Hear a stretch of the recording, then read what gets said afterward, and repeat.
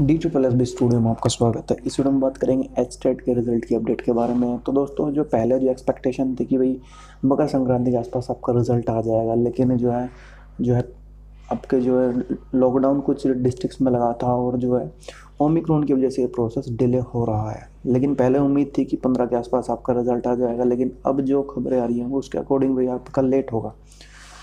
तो biometric verification की जहाँ तक बात की जाए तो वो करीब करीब जनवरी के लास्ट में उम्मीद जताई जा रही है कि भाई लास्ट वीक में आपकी शुरू हो सकती है। ये भी तब है जब सिचुएशन ठीक हो।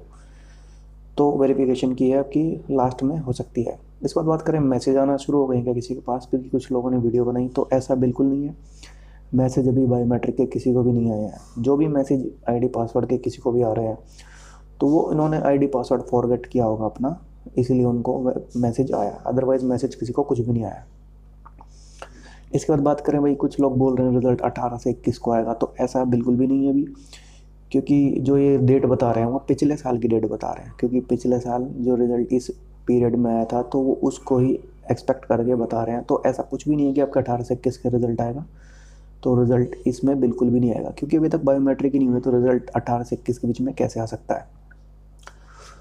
तो वेरिफिकेशन यदि हो जाती है थर्ड वीक में तो आपका रिज़ल्ट बिल्कुल लास्ट में आने के चांस है जनवरी में। और जो उम्मीद लग रही है कि भाई अब रिज़ल्ट आपका फरवरी में भी जा सकता है तो बिल्कुल ऐसा चांस है भाई कि फरवरी के फ़र्स्ट वीक में भी आपका रिज़ल्ट आने के अब चांस हो गए हैं। क्योंकि एक तरीके से जब तक ये गवर्नमेंट जो है डायरेक्शन नहीं देगी कि भाई इन प्रोसेस को आगे करिए, तब तक जो है बायोमेट्रिक का प्रोसेस शुरू नहीं होगा।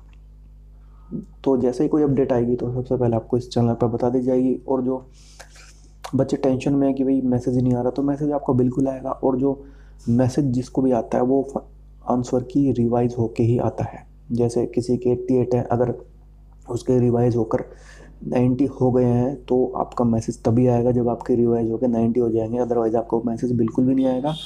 भले ही आंसर की आपकी लेट आए रिवाइज आंसर की, लेकिन अगर आपकी आंसर की में अपडेट हो गया है तो आपको मैसेज ज़रूर आएगा, ठीक है? तो ये आप इंडिकेशन पहले समझ जाना रिज़ल्ट आने के पहले।